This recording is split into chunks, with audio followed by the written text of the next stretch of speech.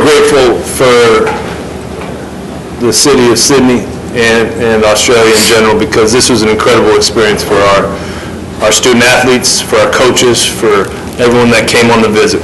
And this is something we'll never forget. We were treated very well. Wanted to make sure the Australians fans got to see an onside kick.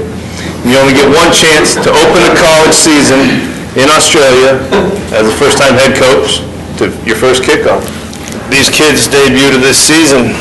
uh, I hope, I hope their fans, not only in Hawaii, but around the world, were, were proud of the way that these kids fought. Sure, there was mistakes, but I don't think there was embarrassment with how they played, and that's all we can ask of them. Mistakes will happen.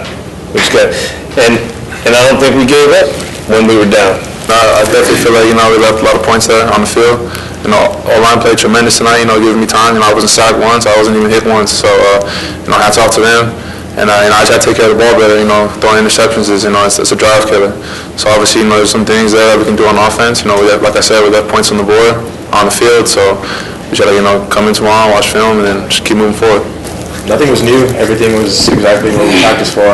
Um, we just gotta make sure we wrap up. That was a big thing. But I thought we played aggressive um, as a defense, and we just gotta turn around next next week and just play even harder and, and win the big house. And it's just another game. we gotta let this thing go in, in a little while, and then we're gonna start up on another big challenge. So, but we're gonna get a chance to play a game. You gotta love it. You gotta love it. You can't give up possessions to that good of a football team. You can't do it.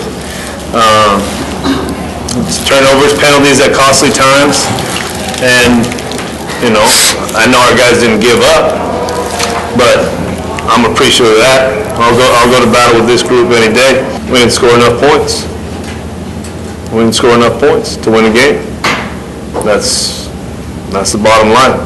That's the name of the game. It's not how many yards you get, it's how many points you score.